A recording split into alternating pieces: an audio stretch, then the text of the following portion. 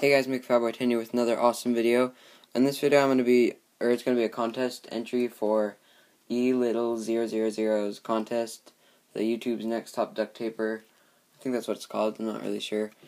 But here's the wallet, it's an Oregon State University Beavers wallet. Turned out really nice. There's the football team, I think that's what their logo is. Turned out really, really good. Has a lot of details. It all turned out pretty much perfectly except for um it was the wrong color for this. Normally it's really orangish brown, that, but the tan or the cookie dough is the closest I could find to that.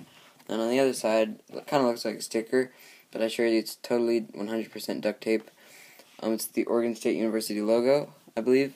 It turned out really nice. It's really clean cut. I'm really happy with how it came out. So here's the whole outside. It is covered in clear tape, so there's a bit of glare on it. Both sides are. You can see. So, and then on the inside, I think I like the layout pretty well.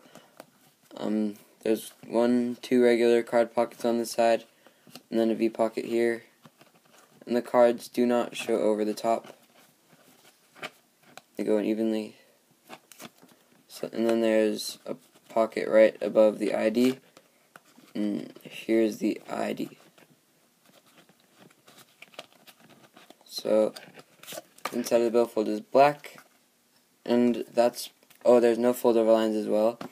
So that's pretty much it. I hope you guys did enjoy this video, especially E Little Triple Zero. So make sure to like it, add it to favorites. Please subscribe. Thanks for watching.